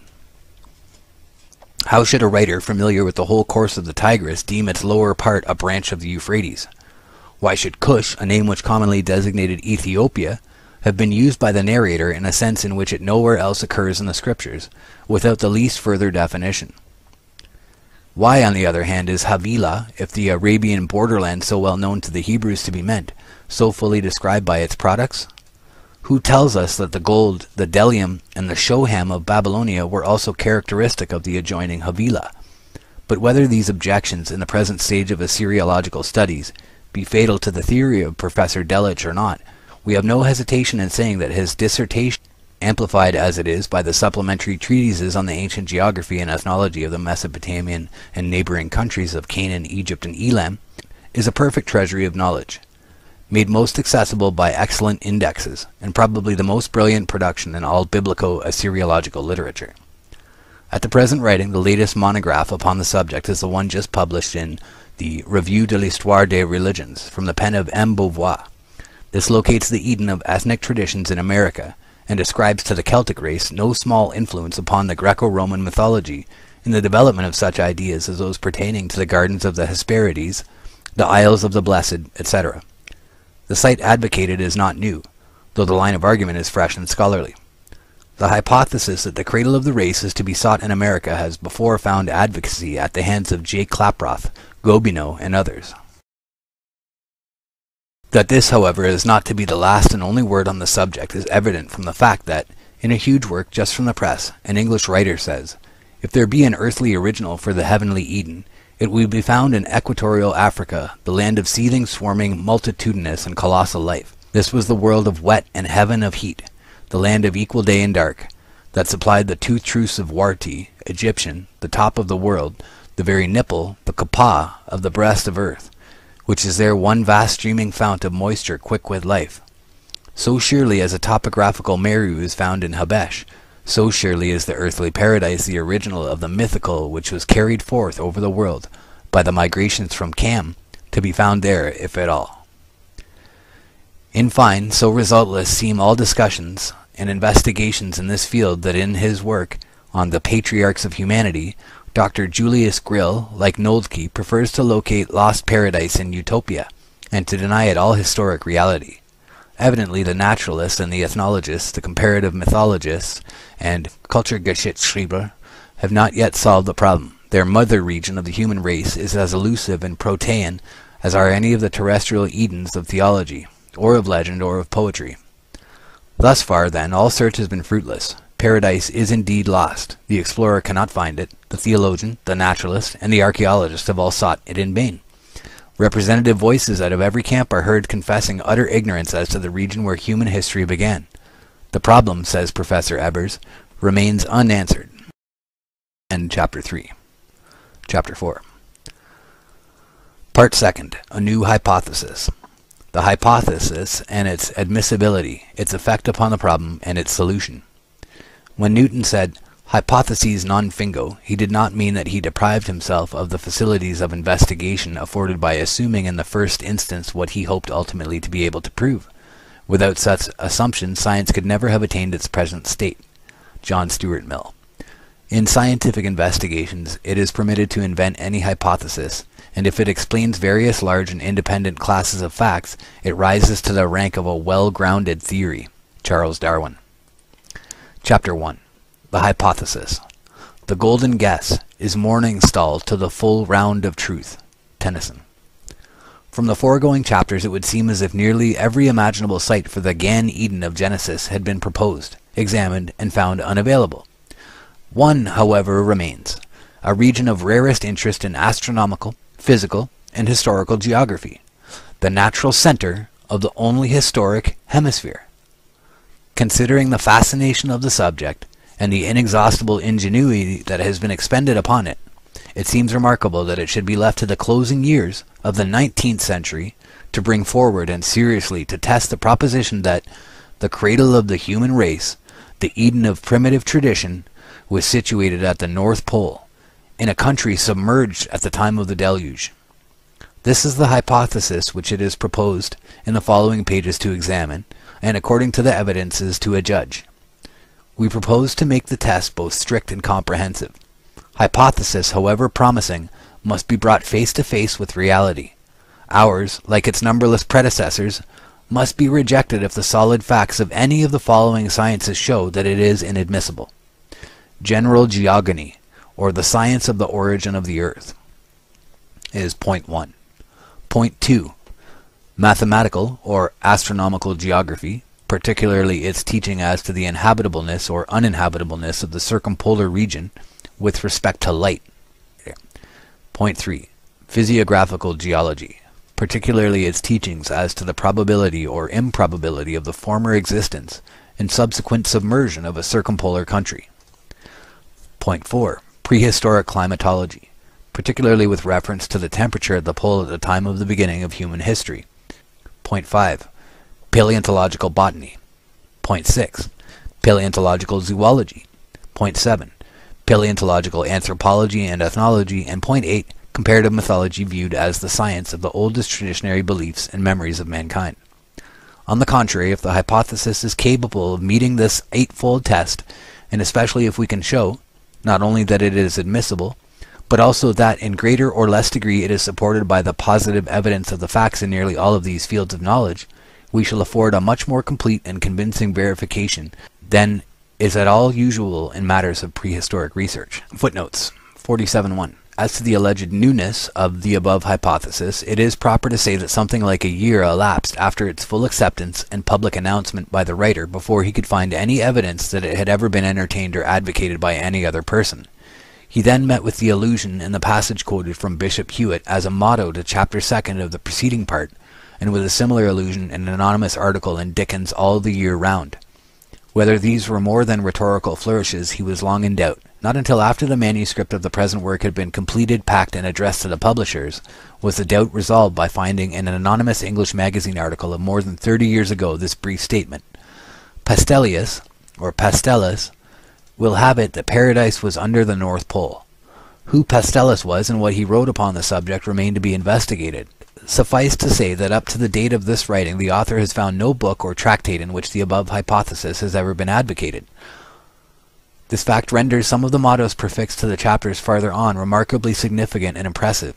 In many cases their authors express truths which they themselves did not perceive. Chapter 2 Important new features at once introduced into the problem of the site of Eden. Significance of these for a valid solution. A quote from John Stuart Mill, Quote, it appears, then, to be a condition of a genuinely scientific hypothesis that it be not destined always to remain an hypothesis, but be certain to be either proved or disproved by that comparison with, with observed facts which is termed verification. Verification is proof. If the supposition accords with the phenomena, there needs no other evidence of it. John Stuart Mill. It is evident, on a moment's thought, that our hypothesis immediately and materially modifies the whole problem of the location of paradise. Given a prehistoric circumpolar continent at the North Pole, as the cradle of the race, what must have been marked and memorable features of that primitive abode? 1. To the first men there would have been but one day and one night in a year. 2. The stars, instead of seeming to rise and set, would have had an apparently horizontal motion round and round the observer from left to right. The pole, the unmoving center point of the heavens, directly overhead, would naturally have seemed to be the top of the world, the true heaven, the changeless seat of the supreme, all-ruling God. And if, accordingly, through all the long lifetime of the antediluvian world, the circumpolar sky was to human thought the true abode of God, the oldest post-diluvian peoples, though scattered down the sides of the globe half or two-thirds the distance to the equator, could not easily have forgotten that at the center and true top of the rotating sky was the throne of its great creator, and that there in the far north was the sacred quarter of the world. Standing at the pole of the earth, an observer would be not only directly under the center of the celestial hemisphere, but also directly on the center of the surface of the terrestrial hemisphere. There and there alone the heavenly bodies would move in horizontal planes round and round him everywhere, at an apparently equal distance, and he would seem to himself to stand on the one precise center point of the entire earth. Every departure of a few miles in any direction from this polar position would at once confirm this first impression. If, therefore, primeval Eden was at the pole, the descendants of the first man, going away from such an original country, could hardly have failed to remember it as the center of all lands, the omphalos of the whole earth. Supposing the first man to have been located in the central and most elevated portion of the hypothetical Eden land, the streams there originating and flowing seaward would have flowed not in one but in various opposite directions toward all the cardinal points of the horizon. Moreover, all of these streams being obviously fed not by each other, but by the rain from heaven, it would not have required a very powerful imagination to conceive of them as parts of a finer and more celestial stream, whose head springs were in the sky. If finally the streams flowing in the opposite directions grew at length into four opposite flowing rivers, flumina principalia, as many old theologians have called them, dividing the circumpolar land into four nearly equal quarters, it would have constituted a never to be forgotten feature of that first home of men. In another chapter we shall expose the baselessness of the popular impression that at the pole six months of every twelve are spent in darkness, and shall show that, on the contrary, less than one-fifth of the year is so spent, while more than four-fifths are spent in light. This being true, a primitive abode in that part of the world would have been remembered by the descendants of the first man as preeminently a land of beauty, preeminently the home of the sun. Moreover, Arctic explorers find it impossible to describe the nocturnal splendors of the aurora borealis in those regions, the whole top of the globe oft-times ceiling veiled in and over canopied with quivering curtains, and banners and streamers of living, leaping flame. It is therefore easy to believe that, once exiled from such a home, mankind would ever have looked back to it as an abode of unearthly and preternatural effulgence, a home fit for the occupancy of gods and holy immortals. Finally, point 7, assuming the prevalence of an equable tropical temperature, we find the biological conditions of the region, such as the extraordinary prevalence of daylight, the intenser terrestrial magnetism, and the unparalleled electric forces which feed the northern lights, all combining to raise a high probability that if ever such a land as we have supposed existed, it must have presented forms of life surpassing those with which we are familiar, a flora and fauna of almost unimagined vigor and luxuriance of development. Under such conditions, men themselves may well have had a stature and strength and longevity never attained since the deluge, which destroyed the world that then was, and immediately or ultimately occasioned the translocation of the seed of our new post-diluvian humanity into the cold and barren and desolate regions of the northern temperate zone. And if the first men were of the stature and strength and longevity supposed, how certainly would traditions of the fact linger in the memory of mankind long after its exile from its earlier and happier home. Glancing back now over these various points, one instantly sees that they present conditions of human existence totally unlike the conditions of life as we know it, or as it has ever been known in what are called historic ages. They necessarily modify in the profoundest manner the whole problem of the site of Eden. No solution ever heretofore presented exposed itself to refutation at so many points. None ever before postulated so extraordinary an adjustment of both heavens and earth. None ever before required, in order to its establishment, so incredibly wide a concurrency of testimony. Against no other has it ever been possible for the very stars in their courses to fight. If false, it demands of human tradition shadowy recollections of world conditions which have never existed in human experience. An hypothesis so peculiarly difficult must surely break down, if it be not true. Promising the reader, therefore, not a new ignis fatuus chase, but at least the satisfaction of a definite result as respects one hypothesis, we cordially invite his critical and patient attention to the facts to be presented in the following chapters. Part 3rd. The hypothesis scientifically tested and confirmed. Chapter 1. The testimony of scientific geogony. Chapter 2. The testimony of astronomical geography. Chapter 3. The testimony of physiographical geography. Chapter 4. The testimony of prehistoric climatology. Chapter 5. The testimony of paleontological botany. Chapter 6. The testimony of paleontological zoology. Chapter 7. The testimony of paleontological anthropology and ethnology. Chapter 8. The conclusion of this part. Quote, it follows that man, issuing from a mother region, still undetermined, but which a number of considerations indicate to have been in the north, has radiated in several directions, that his migrations have been constantly from north to south. Le Marquis de Saporta, in Popular Science, 1883, page 753. Eine jeder Reis der Anwesenheit, okay, every journey undertaken after the ice-gated island world in the north of America knows of signs of the former presence of a people inhabiting lands which today seems to be no longer a human foot. Dr. F. Boas, in the Journal of the Society for Geography in Berlin, volume 18, 1883, page 118. Could it once be proven that the Arctic terminus of the Earth has always been the icebound region which it now is, and which for thousands of years it has been, it would of course be useless to entertain for a moment the hypothesis that the cradle of the human race was there located. Probably the popular impression that from the beginning of the world the far north has been the region of unendurable cold has been one of the chief reasons why our hypothesis is so late in claiming attention. At the present time, however, so far as this difficulty is concerned, scientific studies have abundantly prepared the way for the new theory.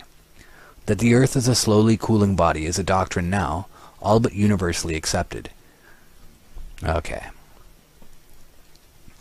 The problem is that he still thinks of the Earth as a ball. In saying this, we say nothing for or against the so-called nebular hypothesis of the origin of the world. For both friends and foes of this unproven hypothesis believe in what is termed the secular cooling or refrigeration of the Earth. All authorities in this field hold and teach that the time was when the slowly solidifying planet was too hot to support any form of life, and that only at some particular time in the cooling process was there a temperature reached which was adapted to the necessities of living things. On what portion of the Earth's surface now would this temperature first be reached, or would it everywhere be reached at the same time? These are most interesting questions, and the writer has often marveled that in scientific treatises on the cooling globe, yeah, we're going to skip. This is about solar heating and cooling. We know from some of the other stuff that we looked at that um, once you get past a certain point going northward, it does become warm. And the reason that I think that is, as mentioned in other texts, is that there's actually warm air blowing down from the heavens above. So I'm going to skip this part entirely because that's all that it is. It talks about the cooling of the Earth mass and it has absolutely no bearing. So we're going to skip that chapter. The testimony of astronomical geography. The nights are never so dark at the pole as in other regions, for the moon and stars seem to possess twice as much light and effulgence. In addition, there is a continuous light in the north, the varied shades and play of which are amongst the strangest phenomena of nature. From Rambausen's Astronomy. The fact which gives the phenomena of the polar aurora its greatest importance is that the earth becomes self-luminous, that, besides the light, which as a plane it receives from the central body, it shows a capability of sustaining a luminous process proper to itself. From Humboldt. We are apt to think of an unbroken night of six months at the pole. Eminent scientific authorities speak as if this conception were correct. Thus, Professor Geikie, in his admirable New Manual of Geology, writing of the Arctic flora of the Miocene age, says, When we remember that this vegetation grew luxuriantly within 8 degrees and 15 minutes of the North Pole, in a region which is in darkness for half of the year, we can realize the difficulty of the problem in the distribution of climate which these facts present to the geologist. In like manner, Sir Charles Lyell, discussing the question of the possibility of whales reaching the supposed open sea at the pole, says, They could pass under considerable barriers of ice, provided there were openings here and there, and so they may, perhaps, reach a more open sea near the pole, and find sustenance there during a day of more than five months' duration. From such representations as these, the reader naturally carries away the impression that daylight lasts at the pole somewhat over five months, while all the rest of the year the region is shrouded in darkness. Were this true, it would certainly be an unpromising region in which to search for the terrestrial paradise. Fortunately for our hypothesis, this conception of the duration of the polar night is very far from true. The half-yearly reign of darkness exists only in the uninstructed imagination. Astronomical geography teaches that, as respects daylight, the polar regions are and always have been the most favored portions of the globe. As early a popularizer of natural science as the Reverend Thomas Dick set forth the real facts as follows. Quote, under the poles, where the darkness of night would continue six months without intermission if there were no refraction, total darkness does not prevail one half of this period. When the sun sets at the North Pole, about the 23rd of September, the inhabitants, if any, enjoy a perpetual aurora till he has descended 18 degrees below the horizon. In his course through the ecliptic, the sun is two months before he can reach this point, during which time there is a perpetual twilight. In two months more he arrives again at the same point, namely 18 degrees below the horizon, when a new twilight commences, which is continually increasing in brilliancy for other two months, at the end of which the body of this luminary is seen rising in all its glory. So that in this region the light of day is enjoyed in a greater or less degree for ten months, without interruption by the effects of atmospheric refraction. And during the two months when the influence of the solar light is entirely withdrawn, the moon is shining above the horizon for two half months without intermission.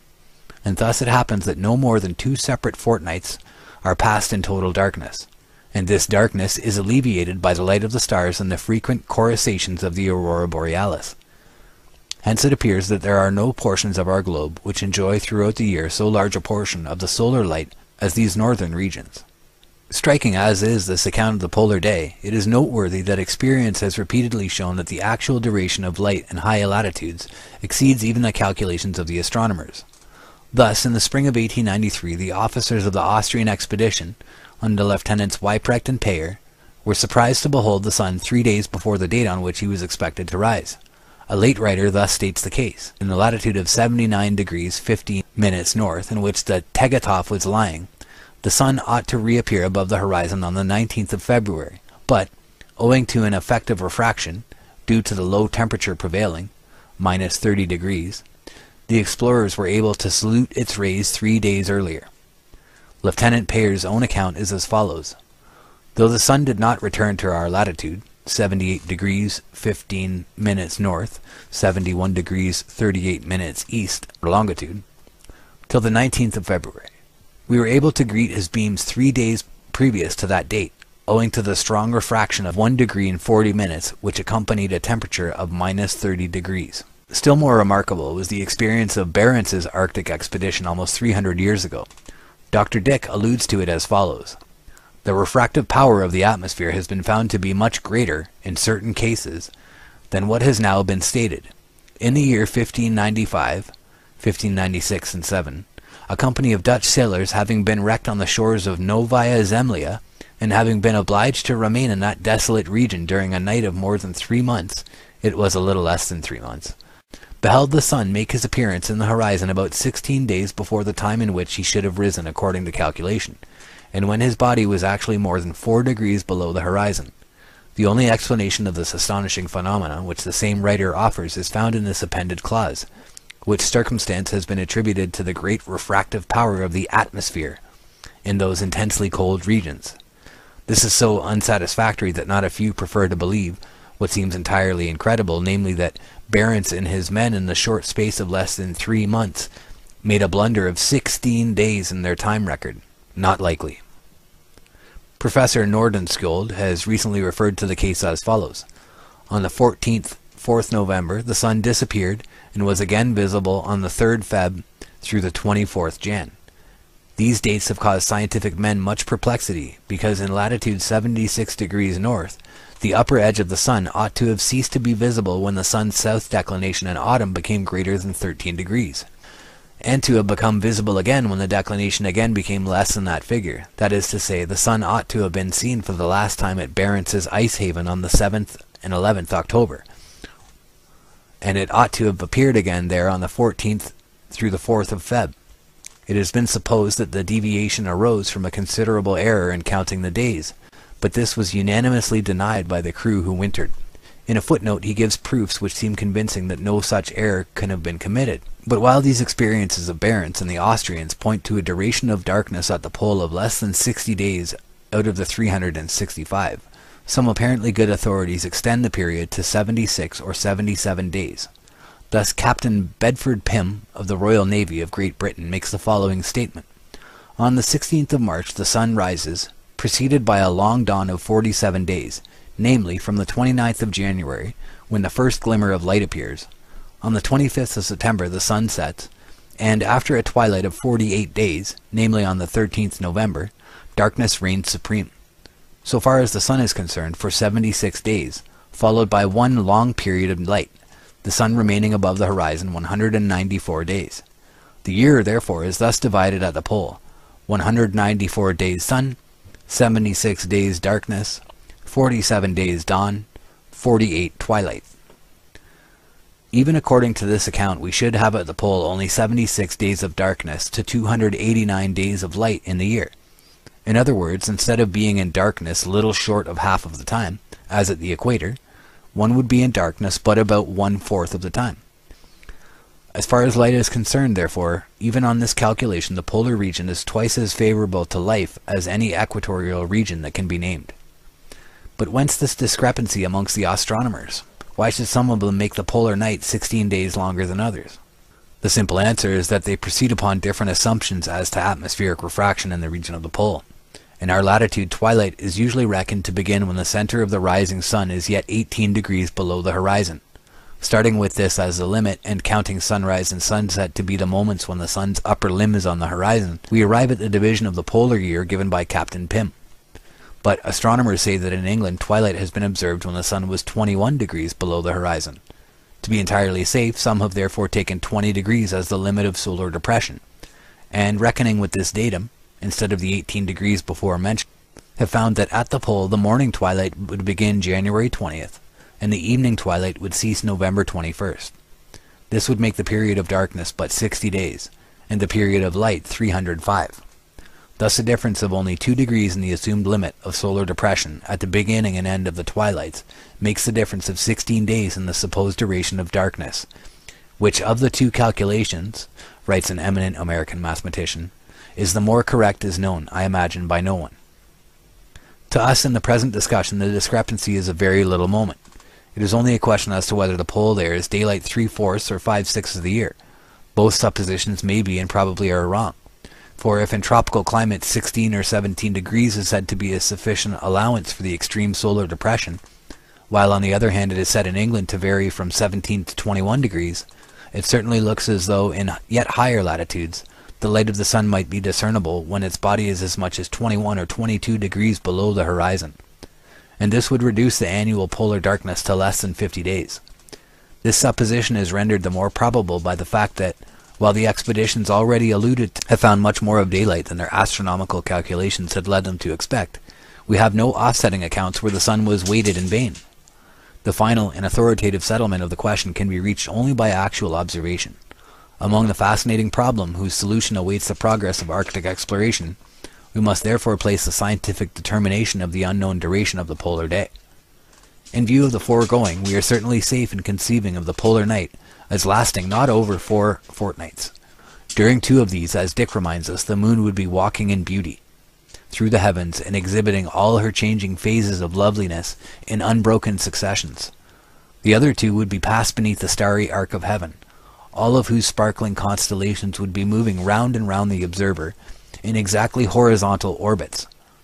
In such a perfect and regular stellar system kept in view so long and so continuously, the irregular movements of the planets or wandering stars could not possibly escape observation. All their curious accelerations, retardations, conjunctions, declinations, would be perfectly marked and measured on the revolving but chainless dial plate of the remoter sky. Dwelling in such a natural observatory, any people would of necessity become astronomers.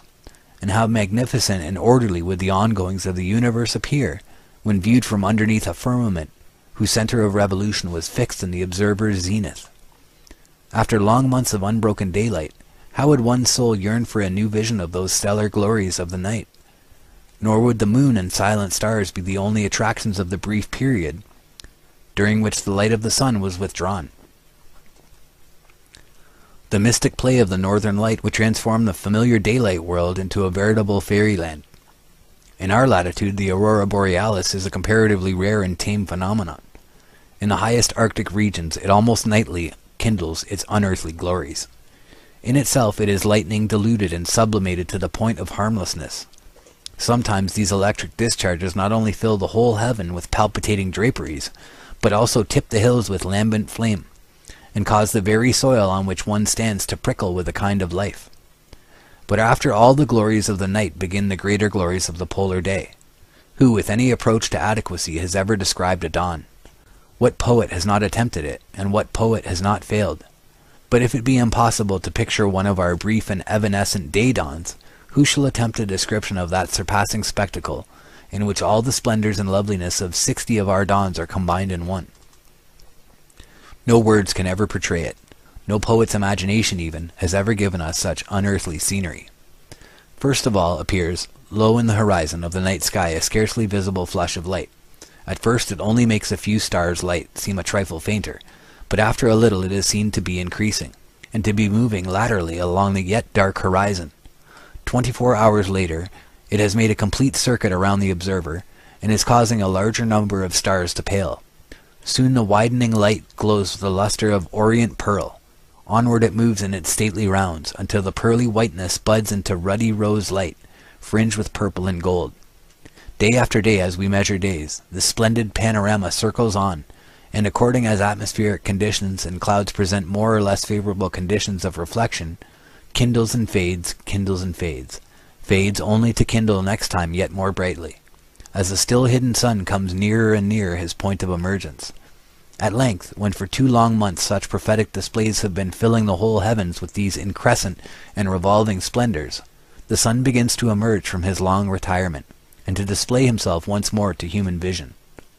After one or two circuits, during which his dazzling upper limb grows to a full orb disk, he clears all hilltops of the distant horizon, and for six full months circles around and around the world's great axis in full view, suffering no night to fall upon his favored homeland at the pole. Even when at last he sinks again from view, he covers his retreat with a repetition of the deepening and fadening splendors which filled his long dawning. As if in these pulses of more and more distant light he were signaling back to the forsaken world the promises and prophecies of an early return. In these prosaic sentences we aim at no description of the indescribable. We only remind ourselves of the bald facts and conditions which govern the unpicturable transformations of each year-long polar night and day. Enough, however, has been said for our purpose. Whoever seeks as a probable location for paradise the heavenliest spot on earth with respect to light and darkness, and with respect to celestial scenery, must be content to seek it at the Arctic Pole. Here is the true city of the sun. Here is the one and only spot on earth, respecting which it would seem as if the Creator had said, as of his own heavenly residence, there shall be no night there.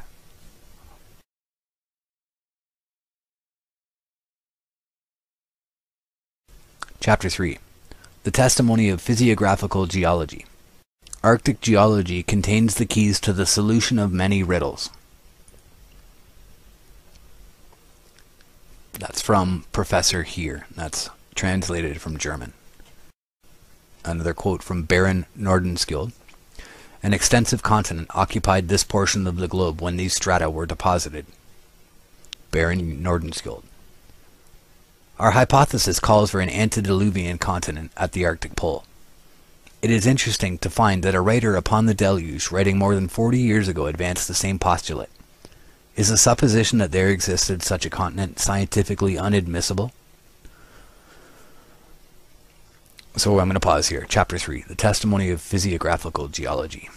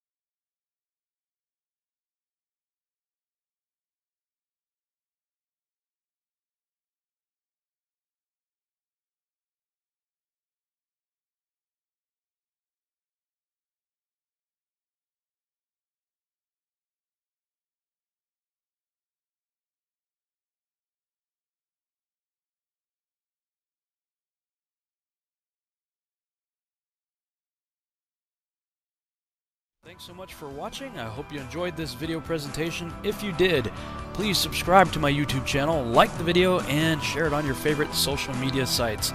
There's a lot more to come, so stay tuned and we'll see you back next time.